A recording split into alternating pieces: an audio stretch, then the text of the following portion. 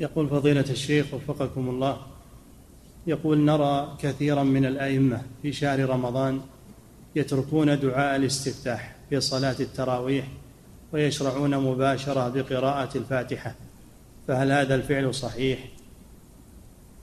لا شك أن الاستفتاح سنة مؤكدة وأنهم يتركونه تركوا سنة مؤكدة الأولى أنهم لا يتركون الاستفتاح نعم إعداد مشروع كبار العلماء بالكويت أعزها الله بالتوحيد والسنة.